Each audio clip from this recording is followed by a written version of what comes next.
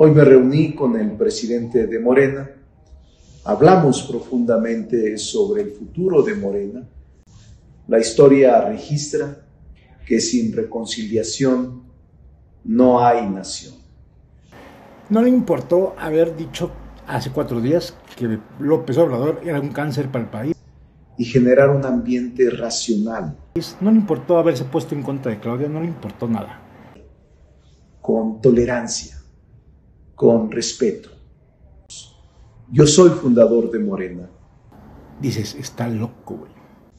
Por eso decidí quedarme en Morena. Por eso es que deseo luchar. Voy a luchar para ganar a la buena.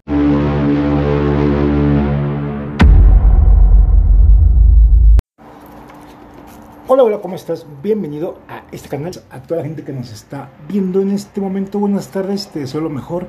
Yo soy Carlos Gil y te invito únicamente a que te suscribas a este canal, a que lo compartas. Y bueno, empezamos con esto porque, ay no, comenzamos con esto que es la información del día de hoy acerca de Monreal. ¿Por qué el día de hoy vamos a hablar acerca de él? Bueno, hace aproximadamente una semana yo te enseñé y te mostré en este canal un video el cual subió él acerca y hablando, para empezar el punto número uno, de que cáncer, el cáncer de este país era Andrés Manuel López Obrador. Más aparte habló súper mal de Claudia y de todas las corcholatas que hay, diciendo que no pueden hacerse autopublicidad o promoción electoral, porque todavía no es, digamos, el momento y la ley y la constitución que hay que respetar, bueno, aún todavía no es la hora. Y el día de hoy el Señor, muy loco por cierto, sale diciendo este mensaje que te voy a enseñar. Suscríbete al canal, compártelo, coméntanos qué opinas y ahorita regresamos.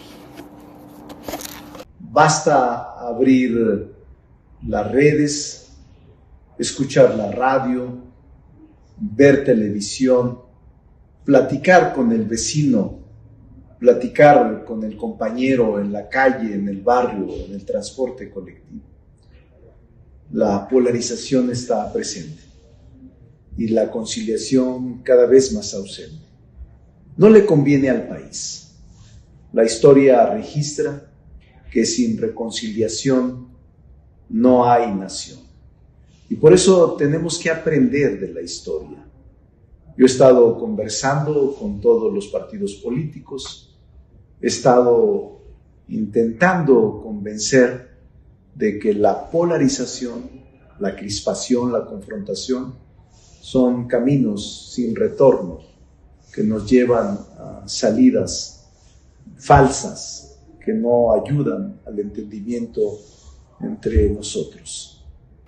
No rompamos la ley, dijo él hace cinco días, cuatro días que te enseñé un video que te lo voy a mostrar al final de este, de este video. Va a aparecer para que veáis lo veas si no lo has visto.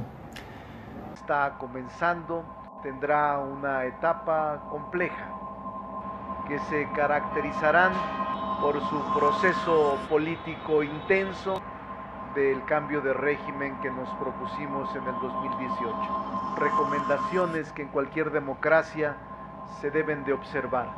Por eso quienes aspiren a ser candidatos a la presidencia de la República tienen que observar la Constitución y la ley. No es afortunado adelantar vísperas y no es afortunado incurrir en promociones personalizadas, en campañas anticipadas, todos los partidos y los aspirantes que vulneren nuestro marco constitucional y nuestro marco legal. Se descuida la función principal en la ciudad más importante del país para proteger a la ciudadanía de este cáncer que se ha extendido en el país de la presencia del presidente Andrés Manuel López Obrador.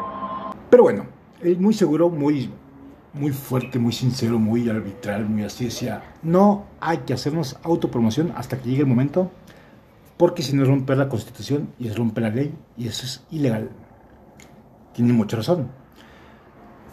Entonces no entiendo por qué sales el día de hoy a mandar un mensaje diciendo que bla, bla, bla, bla, bla, bla, bla, bla. Hoy me reuní con el presidente de Morena, hablamos profundamente sobre el futuro de Morena.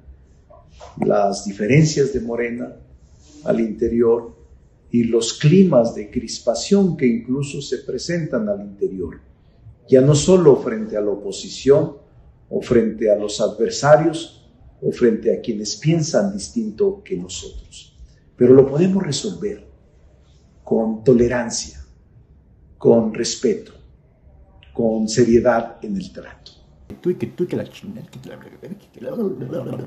O sea, ubícate, mijo, no te entendí la verdad. O sea. Por eso decidí quedarme en Morena, luchar en Morena, y eso es lo que le expliqué al presidente nacional de Morena. Reglas claras, normas lúcidas y transparentes y generar un ambiente racional. O sea, al interior de Morena. Nada ganamos con atacarnos entre nosotros. Yo soy fundador de Morena. Tengo 26 años acompañando al presidente López Obrador. No soy improvisado. Sé de lo que estoy hablando y sé lo que nos ha costado construir este movimiento. Por eso es que deseo luchar. Voy a luchar para ganar a la buena. Y ser el sucesor del presidente López Obrador. Buenas noches. No le importó haber dicho hace cuatro días que López Obrador era un cáncer para el país. No le importó haberse puesto en contra de Claudia, no le importó nada. Él se queda en Morena muy propio. Sin importar también si hizo un mes atrás, hizo chanchullos con la oposición, tratando de, de quedar con ellos. Pero yo creo que ellos, ya lo mandaron a Berch, a la Berchqua. Entonces le dijeron, no, mijito, aquí ya no. Se había venido tres para acá, ¿no? Señor jefe, ¿me puedo volver a quedar aquí? Pues, bueno. Ya las encuestas, diría López Obrador, las encuestas dirán quién será el ganador para representar a Morena para este 2024. Pero bueno, cada quien tiene su punto de vista, cada quien tiene su forma de ser, cada quien piensa diferente.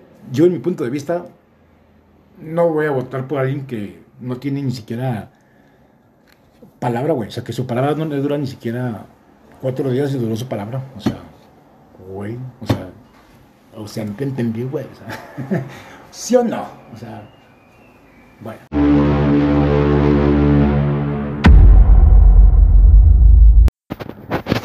Gracias por haber visto este video. Te invito a que continúes con los demás que tenemos en este canal. Suscríbete, compártelo y gracias por haber estado el día de hoy con nosotros. Yo soy Carlos y te veo en la próxima, o mejor dicho, en el siguiente video short de noticias.